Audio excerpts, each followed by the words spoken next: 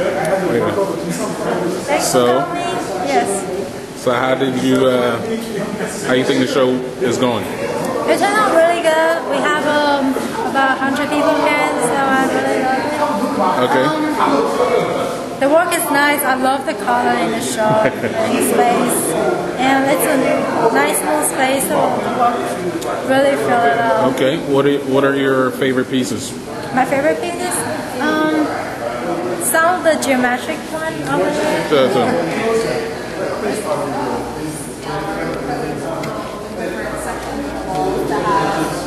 Those two pieces. those two pieces. Why? Why is that?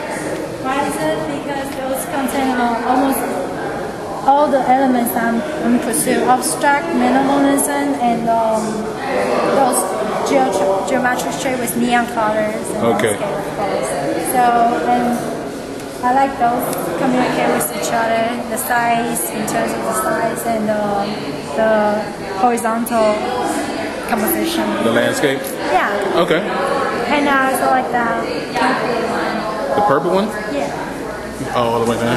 Purple one right here because it's, it's got a narrative, Uh-huh. but in a way it's so abstract. It's abstract and narrative at the same time. Yes. Okay. And that little piece. All right. Thank you. Oh, and this one. I have a tons of flavors. Tons of- That's a good question. I can show you all day.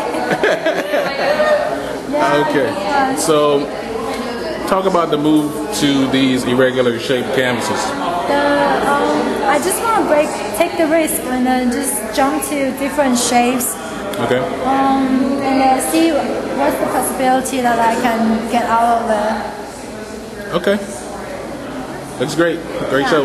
Thank All you. right. Thanks.